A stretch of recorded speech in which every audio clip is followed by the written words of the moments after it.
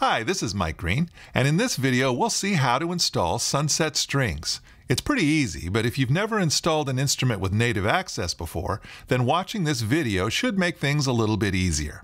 Okay, so the first thing you'll do is click this Download Files button in the email we sent you. That takes you to the download page. This download button here downloads the installation guide, which you might want, although this video explains the same things, so you can skip that. Then here you'll see this video instructions link, which that's the video you're watching right now. So I guess you already clicked it. Okay, so let's get started. The first thing we need to do is install native access.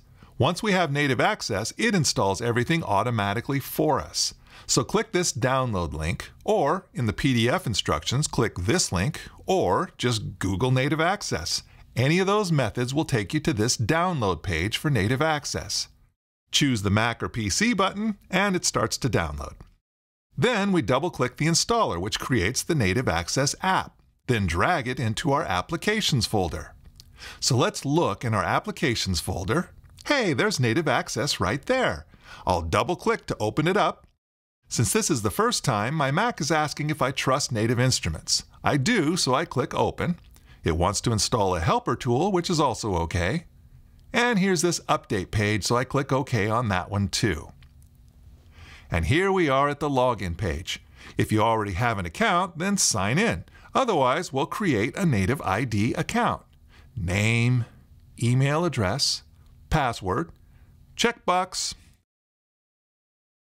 Okay, we're in. Now, we haven't installed anything yet, but we're about to, so go right here to where it says Add a Serial. Click that. And here is where we put in the Sunset Strings native access serial number. So where do you get that serial number? Go back to our Sunset Strings download page. Right here, under where it says Sunset Strings, are these license keys. The first is Native Access Serial Number. So copy that, then paste it here. Now click this Add Serial button.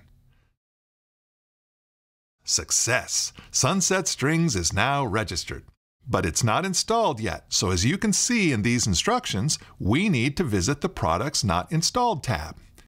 And here we are. So we scroll down to find Sunset Strings.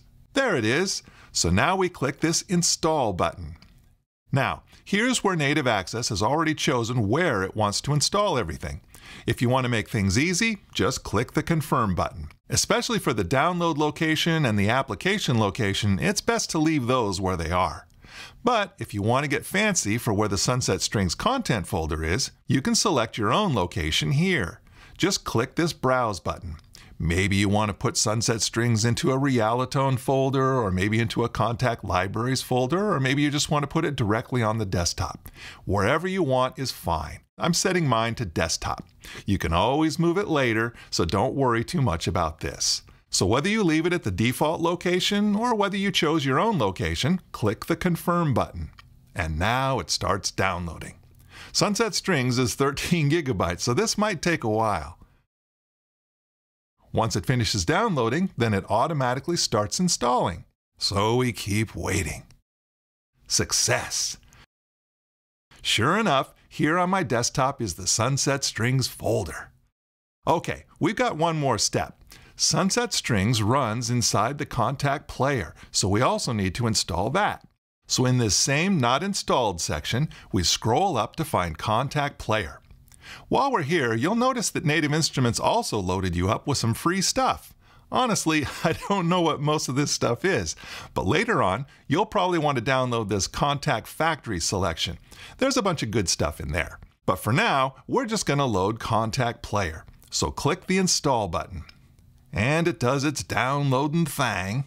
And now it's installing. Boom, done.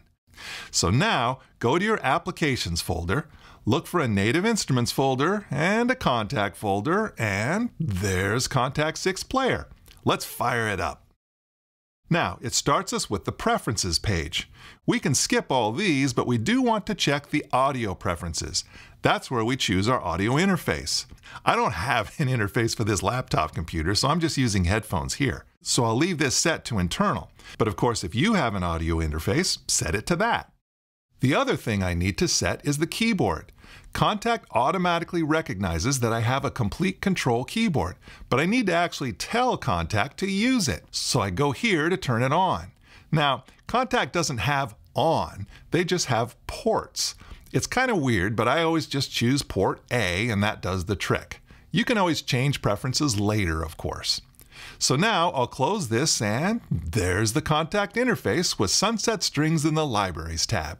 To open it up, click this Instruments button to display the instruments, and double-click the Sunset Strings NKI.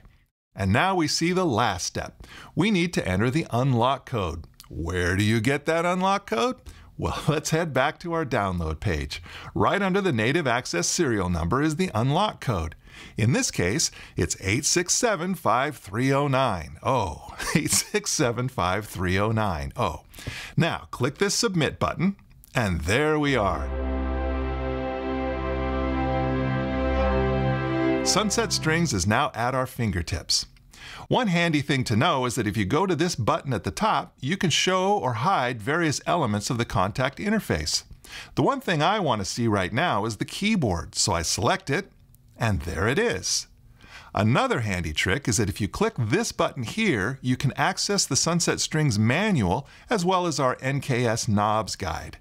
They also exist in this documentation folder, but this is a quick and easy way to access them. So now you're an expert. Thanks for watching, and I hope you enjoy Sunset Strings.